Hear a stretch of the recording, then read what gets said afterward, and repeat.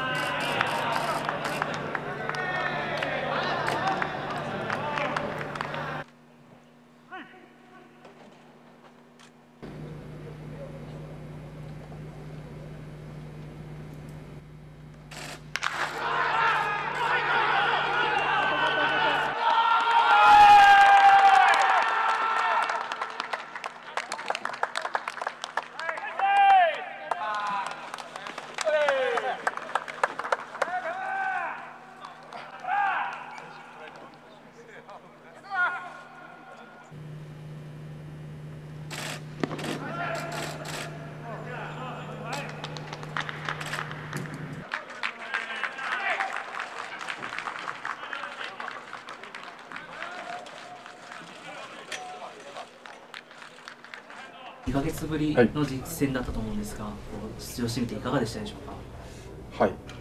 久しぶりやなっていう感じで、はい、まあチームメート同士やったんで、はい、やっぱ試合の雰囲気、空気っていうのはどういうふうに感じられましたか？そうですね、まあ観客も入ってないんであれですけど、まあユニフォーム着てやっぱ試合するっていうのは